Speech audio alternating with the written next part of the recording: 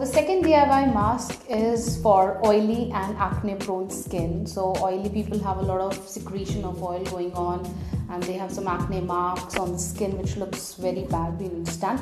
So, this mask is going to help you to soothe your skin, to soothe your acne. Also, it will help you erase your acne marks if you have anything on your face. So, for that, uh, we're going to mix uh, two, three ingredients so the first ingredient that we're going to mix is uh, one spoon of honey. So I'm taking this in a bowl. Now honey will obviously helps as uh, soothing up your skin. Uh, the second ingredient that I'm going to take is uh, the aloe vera gel. So you can